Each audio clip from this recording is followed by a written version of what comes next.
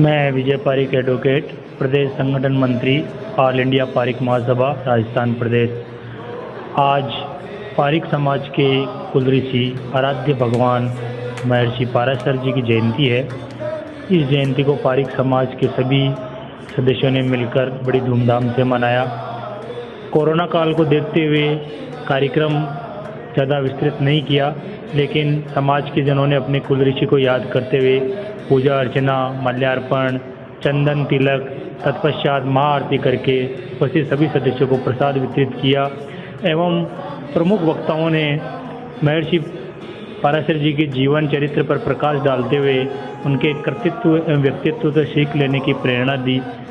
वस्तुतः महर्षि पाराशर जी का ध्येय मूल मंत्र था कि पर्यावरण का संरक्षण करें, वृक्षारोपण करें, एवं अपने आसपास स्वच्छता बनाए रखें।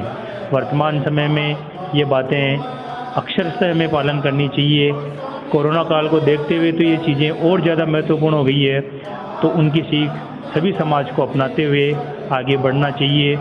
साथ ही समाज में व्याप्त कुरूतियों को समाप्त करने हेतु समाज के अग्रणी लोगों को प्रयास करते रहना चाहिए। बालिका शिक्षा, विधवा विवाह, गरीबी उन्मूलन आदि कार्यों में समाज लगा हुआ है। मैं सभी बंधुओं का हार्दिक आभार व्यक्त करता हूँ, जिन्होंने आज इस कार्यक्रम में सफल बनाने में अपना योगदान दिया। और सभी को पुनः महर्षि पाराशर जन्मोत्सव की हार्दिक बधाई एवं शुभकामनाएँ देता हूँ।